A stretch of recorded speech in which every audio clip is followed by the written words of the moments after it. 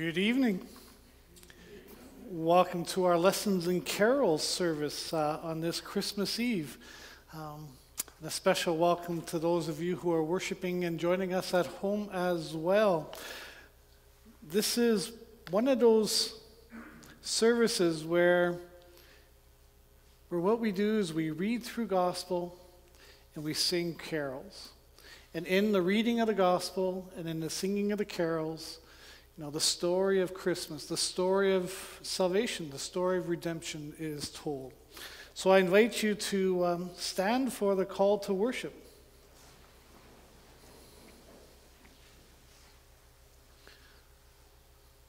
So sing to the Lord a new song, for he has done marvelous things.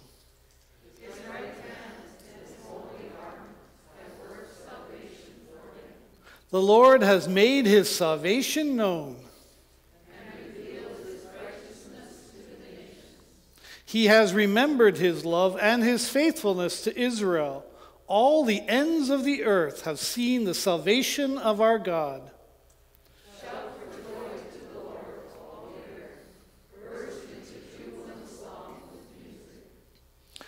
And hear God's greeting from uh, the book of Revelation. Grace and peace to you from him who is, and who was, and who is to come, and from the seven spirits before his throne, and from Jesus Christ, who is a faithful witness, the firstborn from the dead, and the ruler of the kings of the earth. Amen. And as God has greeted us from his word, I invite you to turn and just give a greeting to each other. Greetings to you at home as well. Let's sing, Come Thou Long Expected Jesus.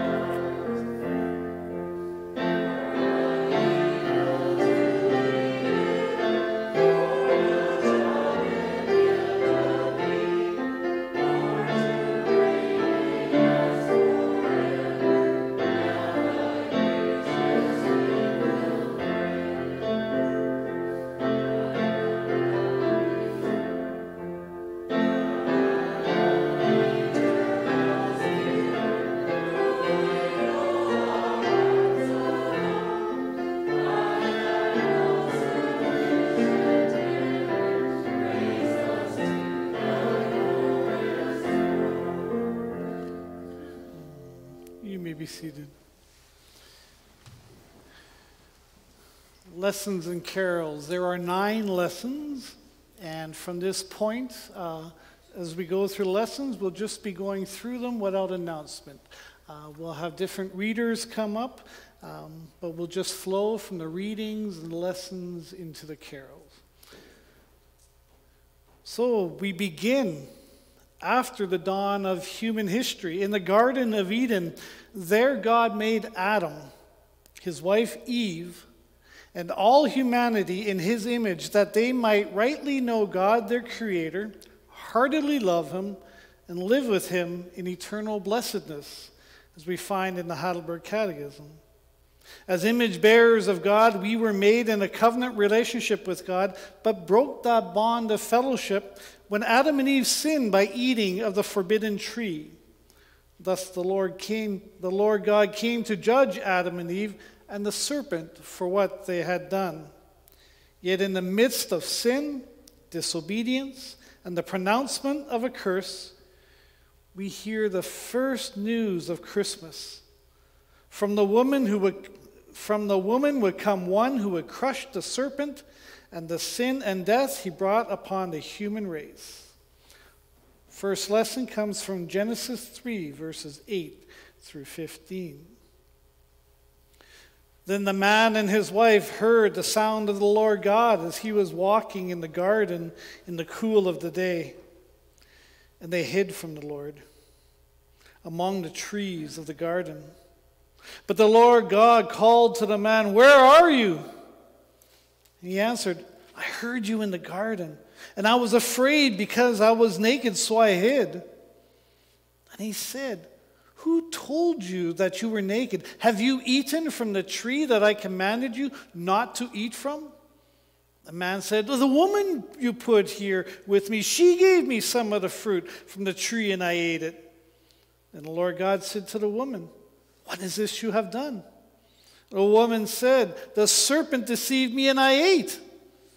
So the Lord God said to the serpent, because you have done this, cursed are you above all livestock and all wild animals. You will crawl on your belly and you will eat dust all the days of your life. And I will put enmity between you and the woman, and between your offspring and hers. He will crush your head, and you will crush his heel.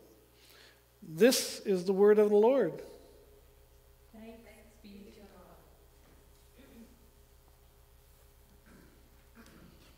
The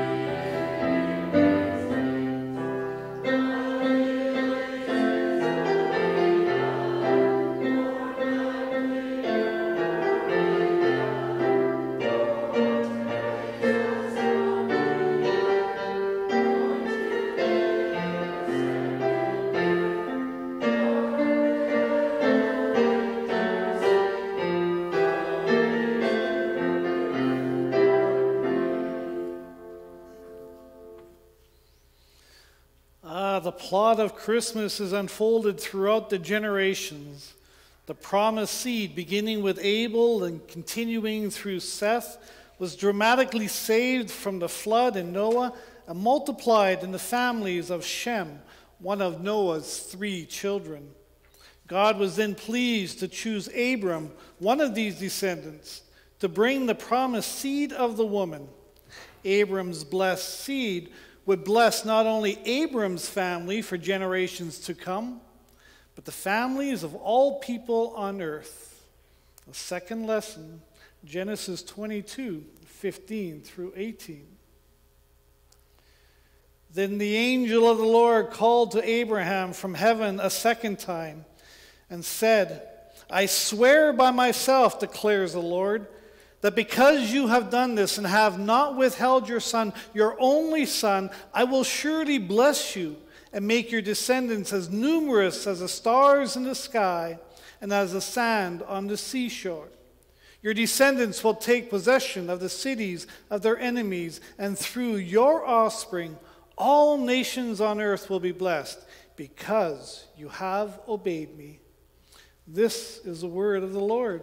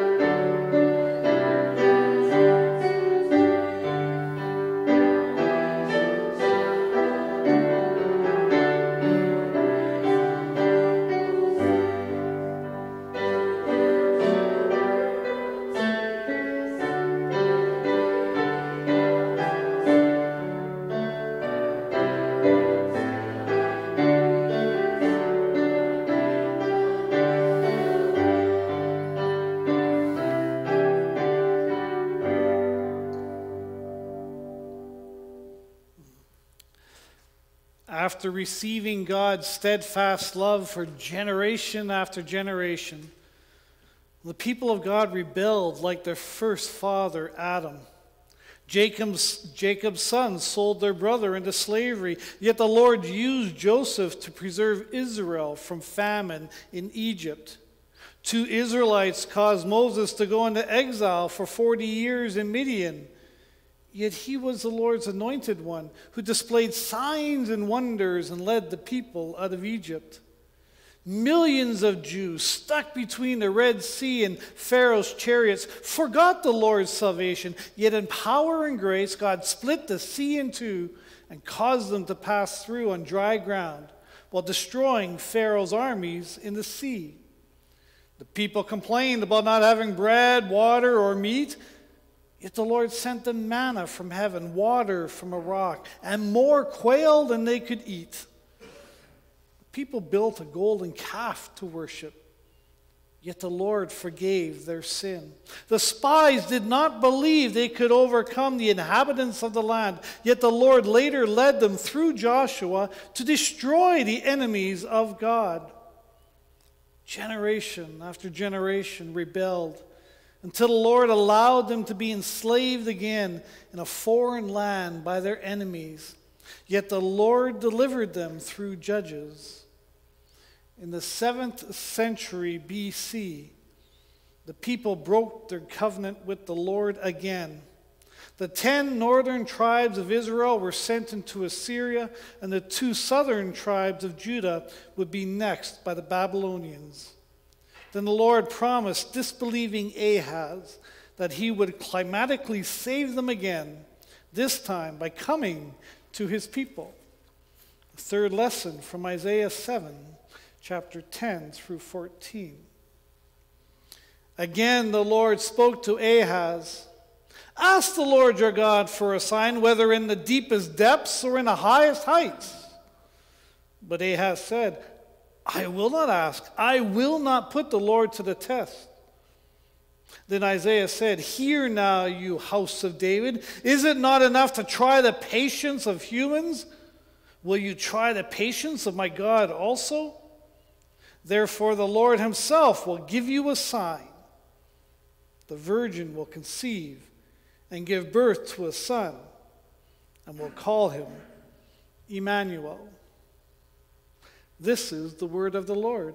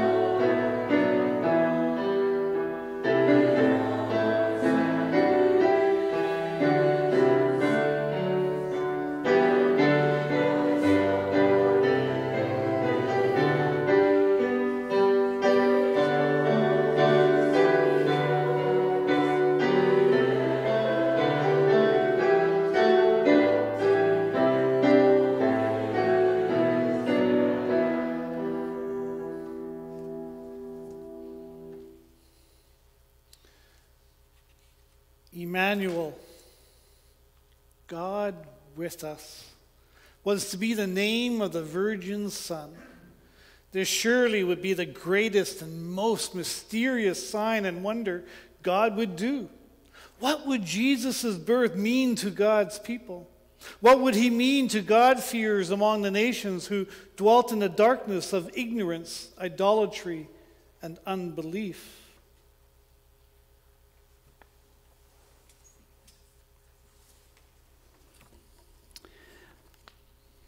The fourth lesson comes to us from Isaiah 9 2 to 7. The people walking in darkness have seen a great light. On those living in the land of deep darkness, a light has dawned.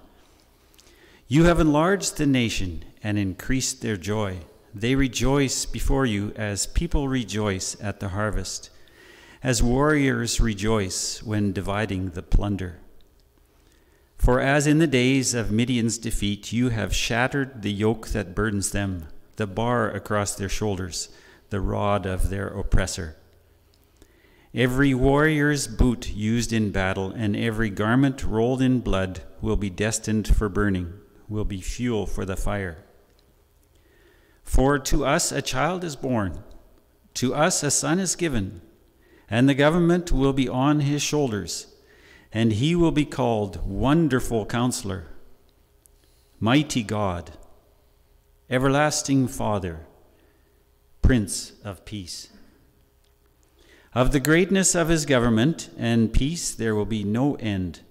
He will reign on David's throne and over his kingdom, establishing and upholding it with justice and righteousness from that time on and forever. The zeal of the Lord Almighty will accomplish this. This is the word of the Lord. Thanks be to God.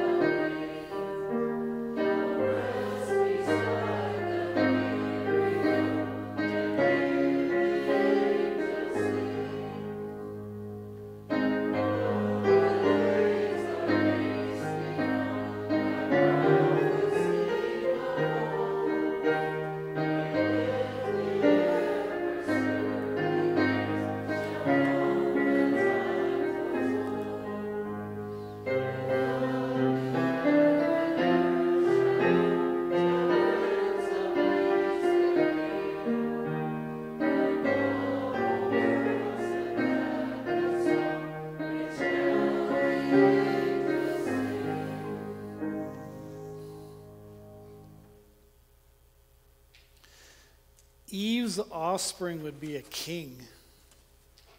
And his kingdom would be one of peace, ending the serpent's reign over the Lord's people. Yet, where was he to be born? Would it be in the palaces of royalty and aristocracy? The fifth lesson from Micah 5. But you, Bethlehem Ephrathah, Though you are small among the clans of Judah, out of you will come for me one who will be ruler over Israel, whose origins are from of old, from ancient times. Therefore, Israel will be abandoned until a time when she who is in labor bears a son, and the rest of his brothers return to join the Israelites. He will stand and shepherd his flock in the strength of the Lord, in the majesty of the name of the Lord his God, and they will live securely.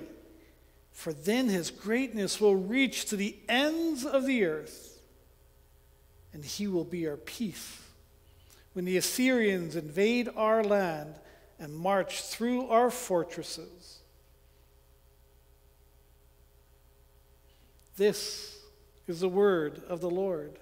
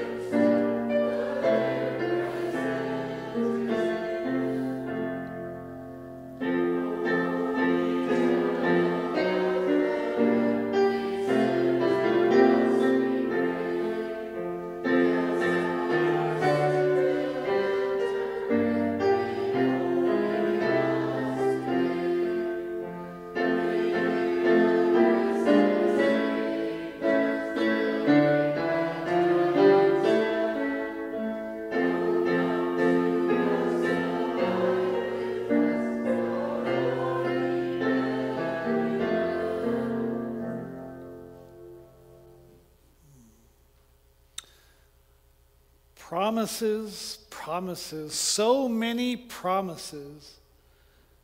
Yet where was this promise of God coming in the flesh? Where was this seed of the woman to crush the serpent? Where was Abraham's offspring who would bless?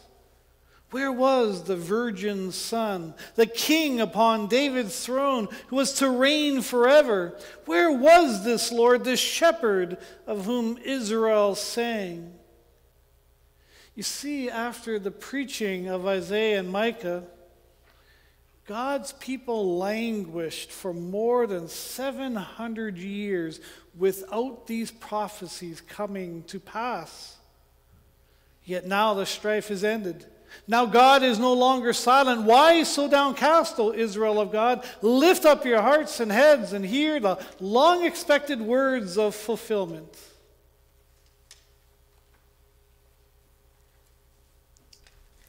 The sixth lesson from Luke 1, verses 26 to 38. Now, in the sixth month, the angel Gabriel was sent from God to a city in Galilee called Nazareth, to a virgin engaged to a man whose name was Joseph of the descendants of David, and the virgin's name was Mary.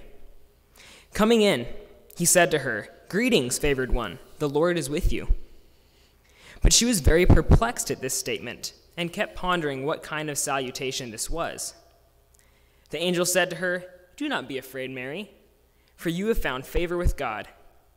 And behold, you will conceive in your womb and bear a son, and you shall name him Jesus. He will be great and will be called the Son of the Most High, and the Lord will give him the throne of his father David. And he will reign over the house of Jacob forever, and his kingdom will have no end. Mary said to the angel, How can this be, since I am a virgin? The angel answered and said to her, The Holy Spirit will come upon you, and the power of the Most High will overshadow you. And for that reason, the Holy Child shall be called the Son of God. And behold, even your relative Elizabeth has also conceived a son in her old age, and she who is called barren is now in her sixth month. For nothing will be impossible with God. And Mary said, Behold, the bond servant of the Lord, may it be done to me according to your word. And the angel departed from her. The, go- the gospel of the Lord. Praise be to you, O Christ.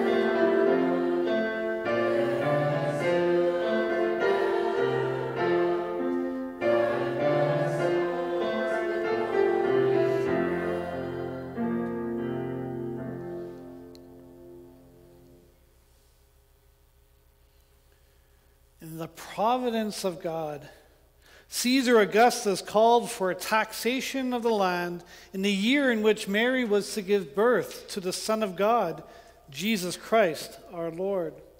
So everyone had to return to their hometowns. Joseph and Mary traveled to Bethlehem that the scripture might be fulfilled. Listen to one commentator describing our next lesson.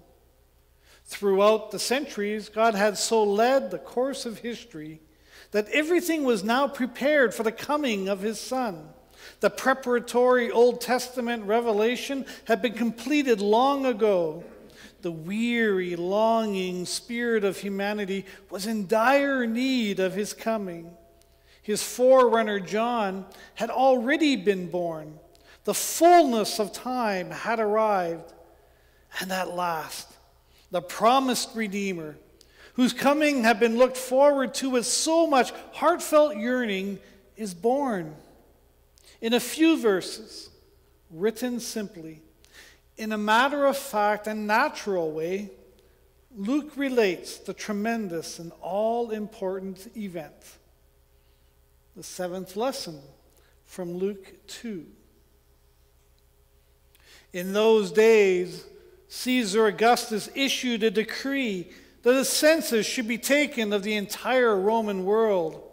This was the first census that took place while Quirinius was governor of Syria. And everyone went to their own town to register. Also, Joseph also went up from the town of Nazareth in Galilee to Judea, to Bethlehem, the town of David, because he belonged to the house and line of David.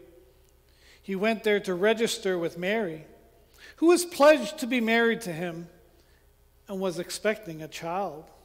And while they were there, the time came for the baby to be born. And she gave birth to her firstborn, a son. She wrapped him in cloths and placed him in a manger because there was no guest room available for them. The Gospel of the Lord.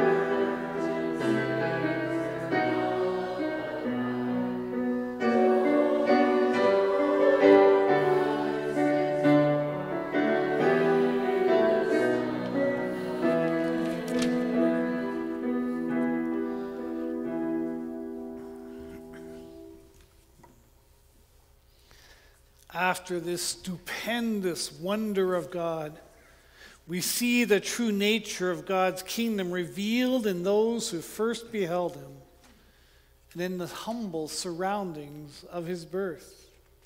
He was not adored by throngs of millions, thousands, or even hundreds, but by some shepherds who happened to be in an adjacent field.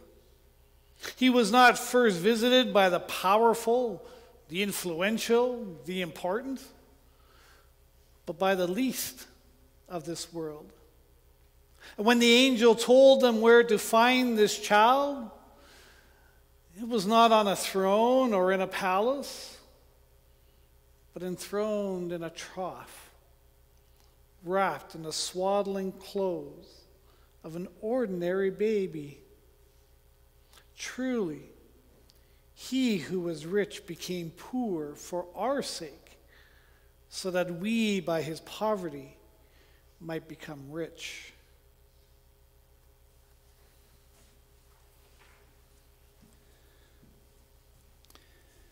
Eighth lesson Luke 2 8 through 16.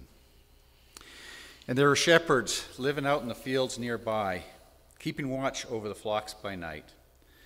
An angel of the Lord appeared to them, and the glory of the Lord shone round them, and they were terrified. But the angel said to them, Do not be afraid. I bring you good news that will cause great joy for all the people. Today, in the town of David, a Savior has been born to you. He is the Messiah, the Lord. This will be a sign to you. You will find the babe wrapped in cloths and lying in a manger. Suddenly, a great company of heavenly hosts appeared with the angel, praising God and saying, Glory to God in the highest, and on earth peace to those on whom his favor rests. When the angels had left them and gone into heaven, the shepherds said to one another, Let's go to Bethlehem and see this thing that has happened, which the Lord has told us about. So they hurried off and found Mary and Joseph and the baby who was lying in the manger. The word of the Lord. Praise be to you, O Christ.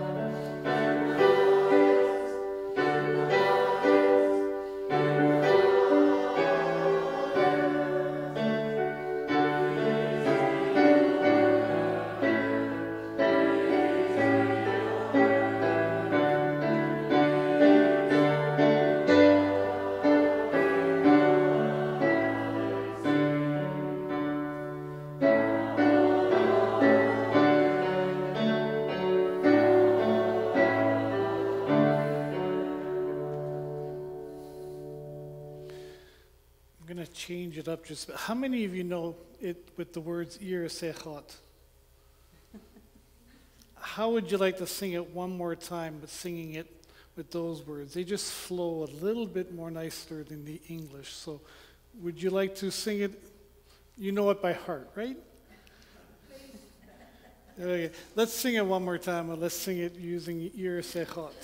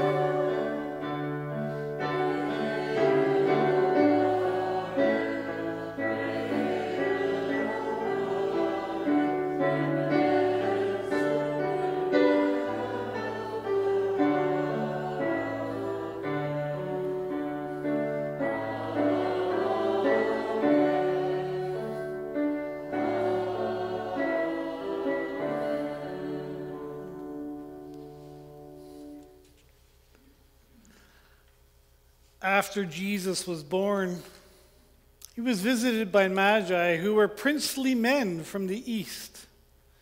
In Scripture, going east is east of Eden, away from the presence of God.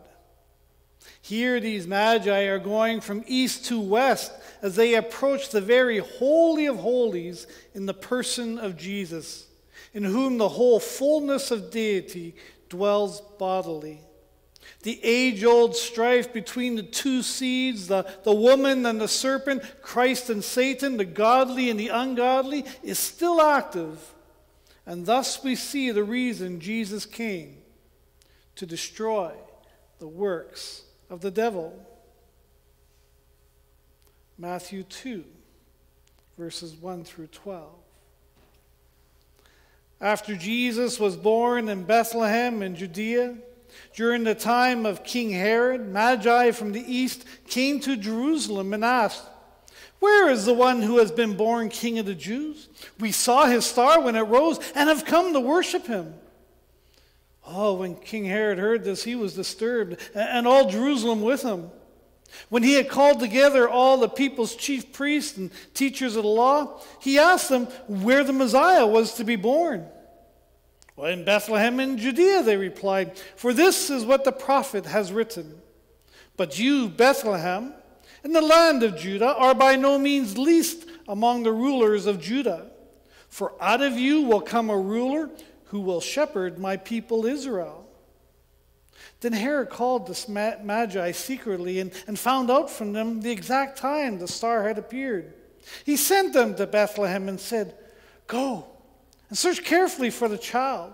As soon as you find him, report to me, so that I too may go and worship him. After they had heard the king, they went on their way, and the star they had seen when it rose went ahead of them until it stopped over the place where the child was. And when they saw the star, they were overjoyed. And on coming to the house, they saw the child with his mother Mary, and they bowed down and worshiped him. Then they opened their treasures and presented him with gifts of gold, frankincense, and myrrh. And having been warned in a dream not to go back to Herod, they returned to their country by another route. The gospel of the Lord.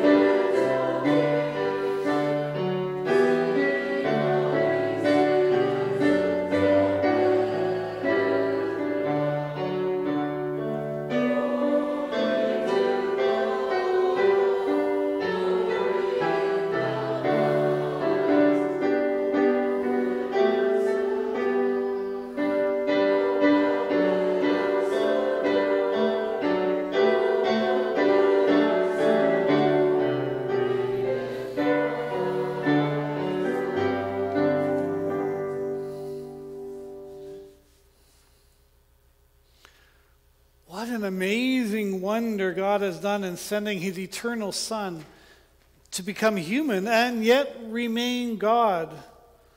The birth of God in the flesh. For here we see that the seed of the woman, the seed of Abraham, the son of the virgin, the son given unto us, the one who was to be a ruler from Bethlehem, was in truth God in the flesh, veiled in flesh, the Godhead see. Hail the incarnate deity. The ninth lesson, and it comes to us from John 1, verses 1 through 14. The Word became flesh. In the beginning was the Word, and the Word was with God, and the Word was God. He was with God in the beginning. Through him all things were made. Without him nothing was made that he that has been made. In him was life, and that life was the light of all people. The light shines in the darkness, and the darkness has not overcome it.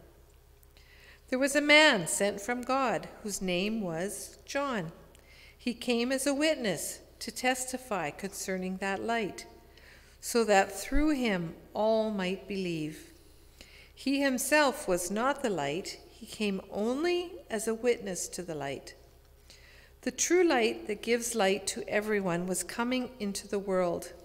He was in the world, and though the world was made through him, the world did not recognize him. He came to that which was his own, but his own did not receive him. Yet to all who do, did receive him, to those who believed in his name, he gave the right to become children of God. Children born not of natural descent, nor of human decision, or of a husband's will, but born of God. The Word became flesh and made his dwelling among us. We have seen his glory, the glory of the one and only Son, who came from the Father, full of grace and truth. The Gospel of the Lord. Praise be to you, O Christ.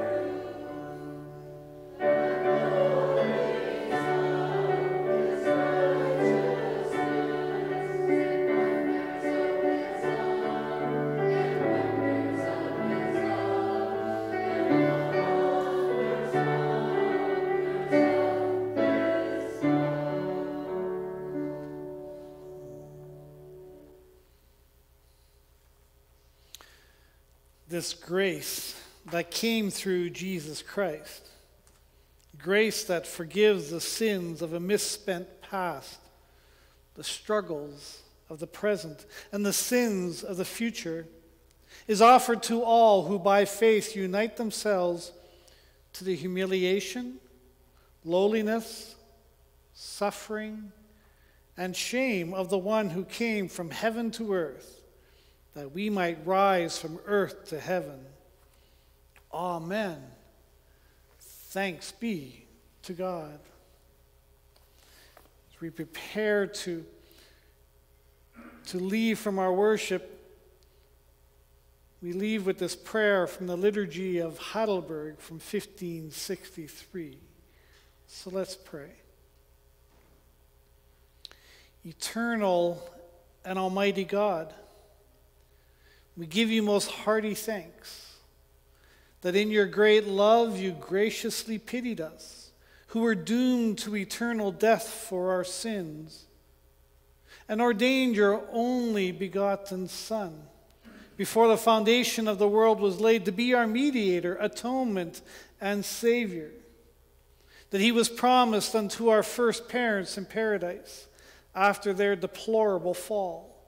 And at the appointed time was sent into the world, that he assumed our flesh and blood, became our brother, and in all things like unto sin accepted.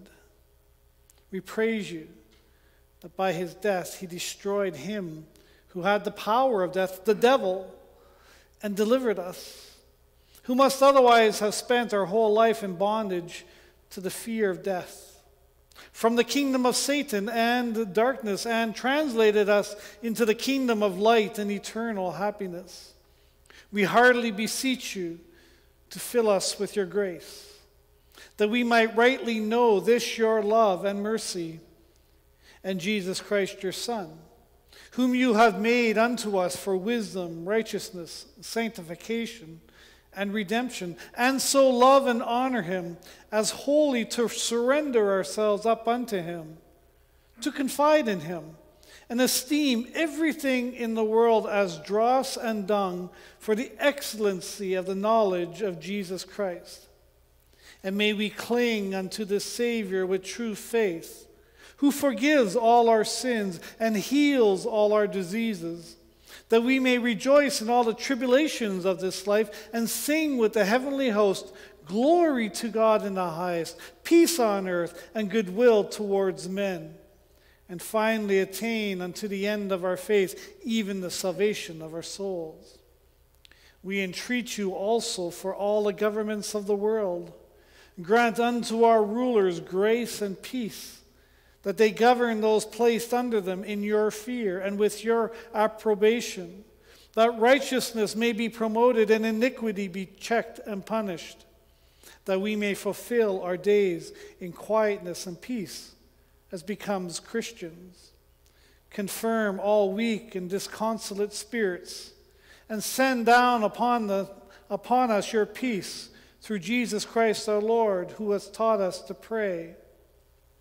Our Father in heaven, hallowed be your name. Your kingdom come, your will be done on earth as it is in heaven. Give us today our daily bread. Forgive us our sins as we forgive those who sin against us. And lead us not into temptation, but deliver us from evil. For yours is the kingdom and the power and the glory forever. Amen. We're going to end our service with the carol Silent Night, Holy Night. And I, we invite you um, during the singing of the carol to come up and to light your candle from the Christ candle as well as Christ's light flows out into the world, and then return to your seats. But we ask you to come up just a couple of rows at a time, and then just kind of come around and then back to your seats. And then afterwards, we'll have the benediction, and then we'll go back out into the world. So, silent night, holy night.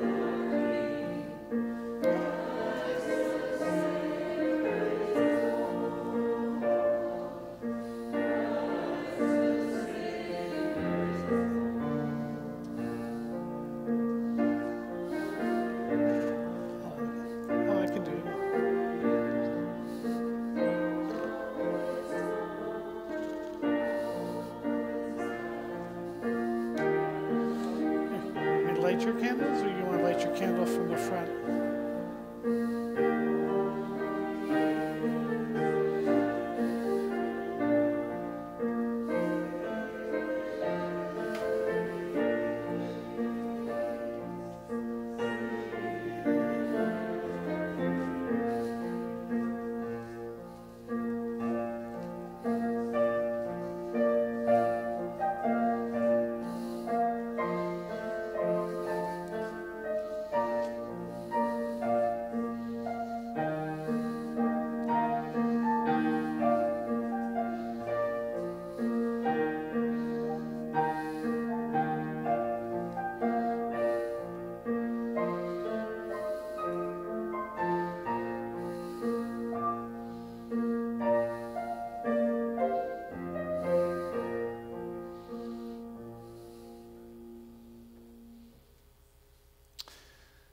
Hear now the benediction. May Jesus Christ, the Son of righteousness, who comes with healing in his wings, fill you with the joy and peace that passes all understanding. The blessing of God, Almighty Father, Son, and Holy Spirit be upon you and remain with you always. Amen. So go and shine the light of Christ into our dark world. May the Lord bless you and be with you.